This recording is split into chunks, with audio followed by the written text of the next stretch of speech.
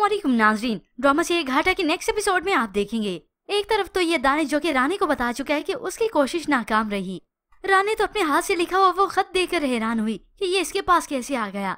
और इस दानिश ने भी बता दिया कि इसके चुंगल से भागना नामुमकिन है। जबकि दूसरी जानब हमजा की वालदा का तो अब पता चलेगा। और ऐसे में उन्हें कदर भी रानी की अभी होगी। क्योंकि यही थी जिन्हें रानी और उसकी वालदा एक आँख तक नहीं बांधती थी। और अब मिली है सना जैसी बहू जिसके वो सद के वारी हो रही थी। कि बहुत अच्छी तरबियत की है उसकी माँ ने, क्योंकि अब ये सना अपना असर रूप दिखाती ही हमजा की वालदा जो शॉपिंग से अभी अभी आई थी। हमजा की माँ को देखा तो ये सना उन पर रोब झाड़ने लगी। ये सुनते ही हमजा की वालदा को बहुत गुस्सा आया। मुझसे बात करते हुए ना अपना लहजा और अपना दिमाग दुरुस्त कर लिया करो। और अब खुलती है सना की हकीकत। हमजा की वालदा को उंगली दिखाते हुए कहती है बात सुनो तुम मेरी। मुझसे बात करते हुए अपना लहजा तुम भी दुरुस्त कर लिया करो। सेम उनकी कॉपी करते हुए उन पर ही रोब झाड़ती है।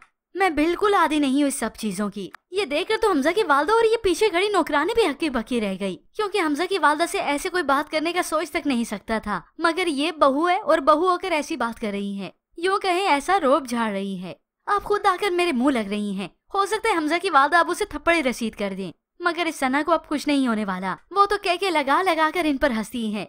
इज़्ज़त की बात देखो कौन कर रहा है। अब नौकरानी को गुस्से से यहाँ से भेज दिया। जिसके बाद हमजा की वालदा भी सना को नहीं समझा पाई। आखिर खुद ही यहाँ से चली जाती हैं, अपनी इज़्ज़त बचाकर।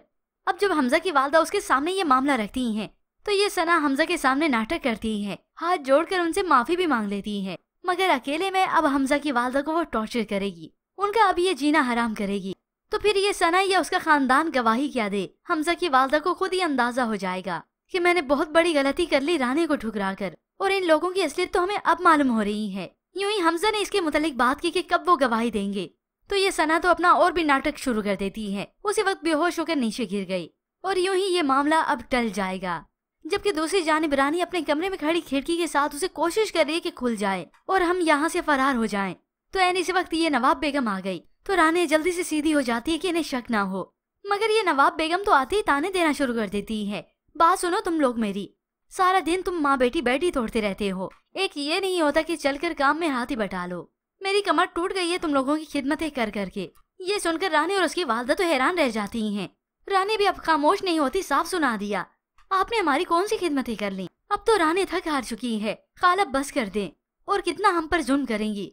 बुरा वक्त तो आप लोगों का अब शुरू हुआ है। हकीकत में जब हमजा की वालदा के होश ठिकाने आएँगे, और ये सना अपने करतूतों से उन्हें साबित कर देगी कि यही लोग ही गलत थे यही लोग ही चालबाज और बड़े चालाक हैं। तो तब वो खुद ब खुद ही समझती चली जाएँगी कि हमसे बहुत बड़ी गलती हो गई, कि इन लोगों की बातों में आ गए। पर ऐसे में व्यूवर्स, आपको क्या लगता है? क्या ये सना आपकी बार हमजा को अपनी चालों से ट्रैप कर पाएगी? इसके मुताबिक हमें अपनी कीमती राय का इजहार ज़रूर कीजिएगा। मजीद ड्रामा रिव्यूज़ के लिए आप देखते रहिए उर्दू टीवी।